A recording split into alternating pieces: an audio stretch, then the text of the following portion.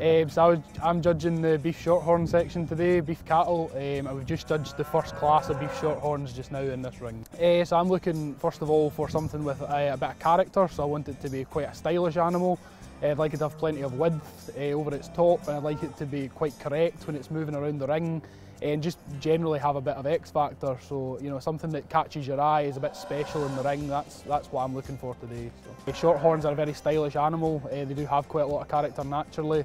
They have this ability to take to graze rough forage, so hill land, and turn it into to beef or milk for calves. And uh, you know they are just naturally a very hardy cow, um, but also very stylish in the show ring as well. So you know it kind of serves both purposes. So.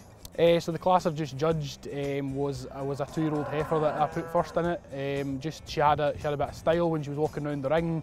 Um, she had a bit of, size and power as well, and she was quite correct. And, and generally she caught my eye in the class, so uh, that was why I had her first in there just now. So.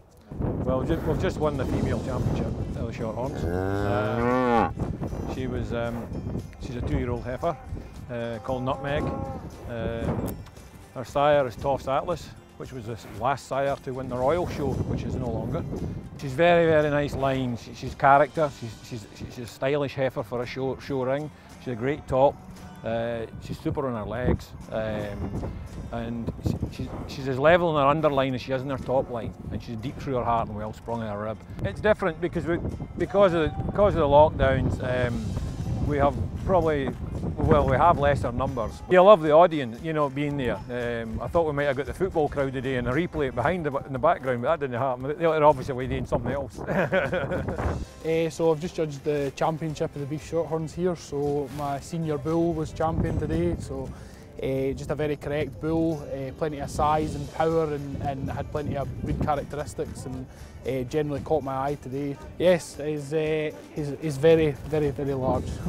you know, you wouldn't typically probably get bulls that size, but you know, he has size, but he's correct with it. So, you know, he had the power today to be champion. So that was that was why I had him champion today. So, yeah. So there's um, there's the beef shorthorn. There's also the dairy shorthorn in this country as well. Um, you know, their, their native breeds are naturally from this country.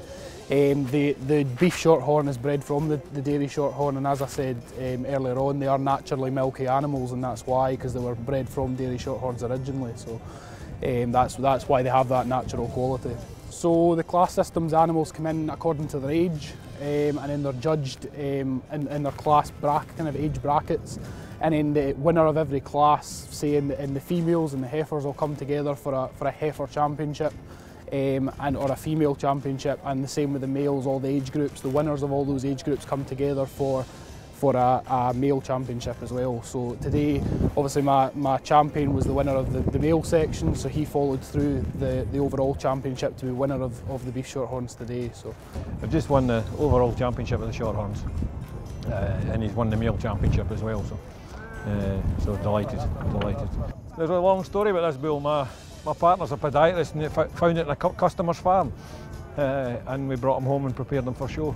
Yeah, he's, he's, he's maybe a wee bit bigger than, to the norm, like, but um, we're, we're, um, we're, competing with continentals as well, and it's good to see that a bull this size can be as big and have as much flesh. They are, they are a Scottish breed, um, and they're great grazers, they poor pasture, great grazers. Um, and um, they, they, flesh very easily on, on poorer pasture, uh, make great cows. Um, so. I mean, I've came to the Highland Show for many years. We've showed cattle here ourselves, and it's not, not the only way I can describe it is is nothing like you could ever imagine here. You know, it's it's a really, really strange day, but it's great that the Highland Society are doing something on the showground to mark what would have been the Highland Show, and, and you know, hopefully it'll give people hope for the, the real thing again next year.